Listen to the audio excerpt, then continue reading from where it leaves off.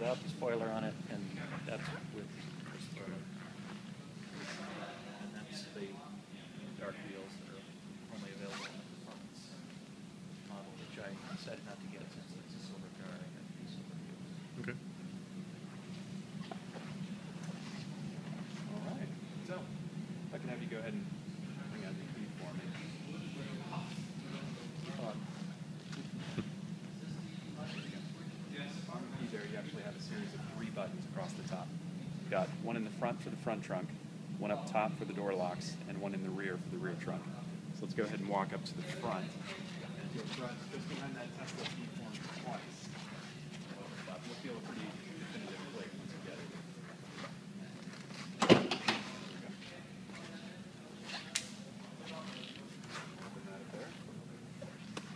And of course, there's the front. Not a whole lot to it. The only thing you're going to personally have to worry about is the windshield washer fluid up there. You'll get a warning on the touchscreen when that gets low, or we'll top it off and bring it in for service either way. But, um, And the emergency piece. right. Got that there just in case. But otherwise, um, yeah, that's pretty much all there is to it. When it comes to closing this, pretty important, it is an all aluminum hood, so it's not something that you want to slam down. You definitely don't want to put anything on top of the hood because you could crease it if there was something heavy there. Best thing to do is bring it down like this, both hands on either side of the T, give it a press. You left out the part about the fingers not being under it. Fingers not being under is also a good thing to pay attention to, that's right. But yeah, just going ahead and pressing it gently like that. Walk around to the back, and keep on pressing the back of the key fingers twice. And Open the rear trunk. There it is. Case here we are. So, Got the split seats. You can go ahead and fold these down just by pulling up on the button on either side. Just like a little bit more space there. I haven't ever seen it with both of them folded down. Yeah, sure. You can go ahead and do that. To get an idea of how much space there is. It's A pretty big Yeah. contiguous space. All right. Good. Twin bed in there. And well, between having these folded down and, you know, front trunk, you've got plenty of room there.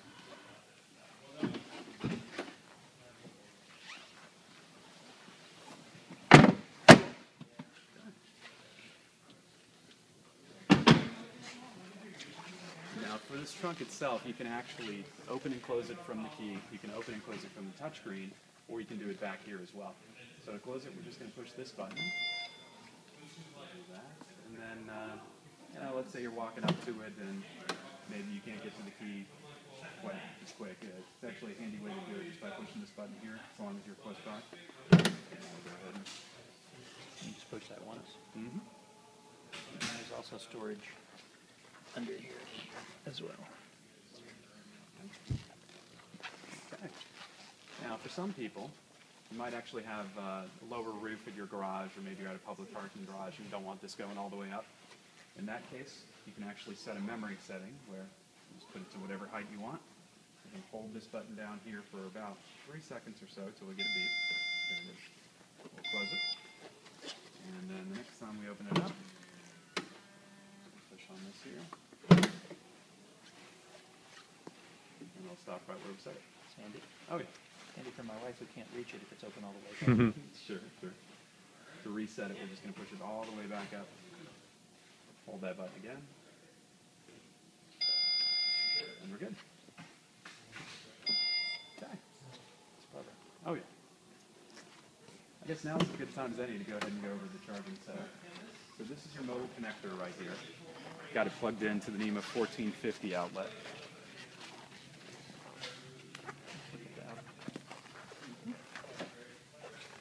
Real simple setup. You've got a series of different adapter heads. I'll show you a couple there in the back.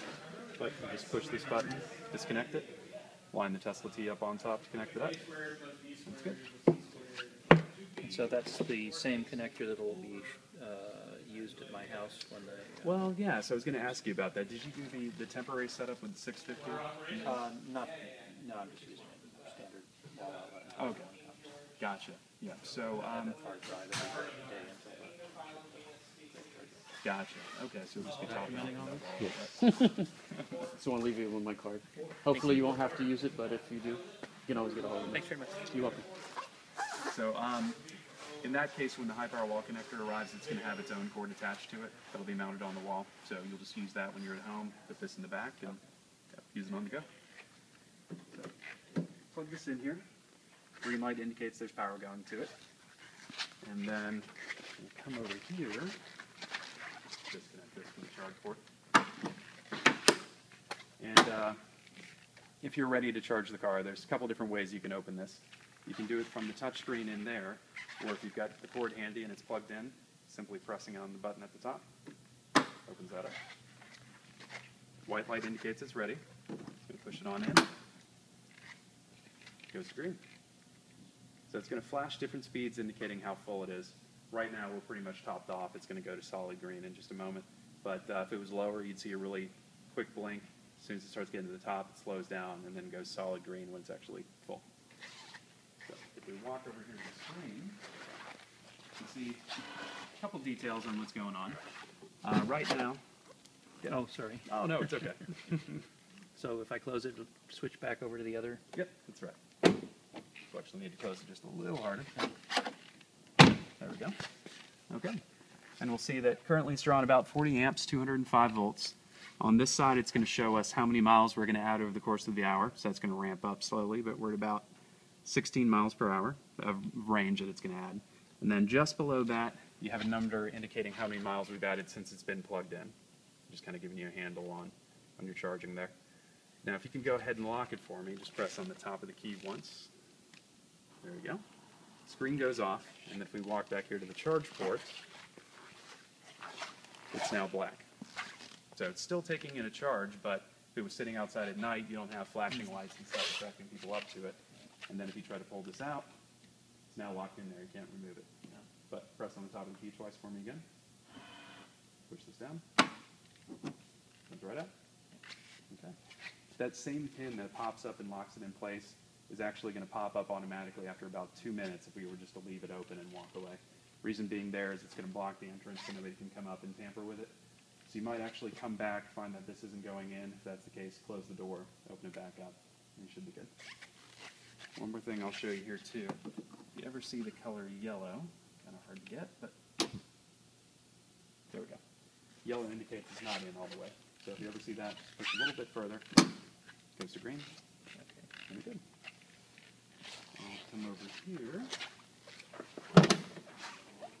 Can just back up and show you some of your adapters. So since you're going to be using that standard wall outlet at home, you'll just put that adapter on the end of your connector there. Okay. Plug it on in. And then you also have this, which is the J1772. That's for public charging stations. In that case, you would just go ahead and attach this onto the end of the public charging station cord, and then it into the charge port just like that. Okay. And you'll be good. Fortunately, you do have a lot of those over in Orlando, and the OUC has a bunch of different stations out there. So. How do those usually work? They charge for the time, or is Well, it? um, most of them are actually free. Hmm.